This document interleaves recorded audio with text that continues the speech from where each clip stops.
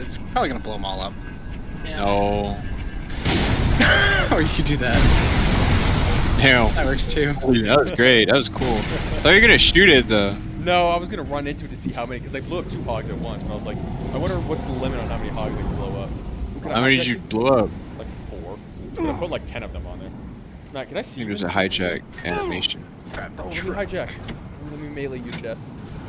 There's actually a pretty considerable lunge. Ow!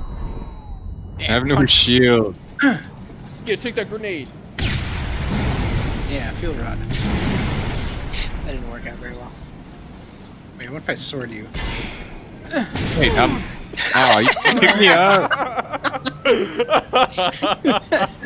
What if I sword you? It gets out. Ow! I've fallen. I can't get up.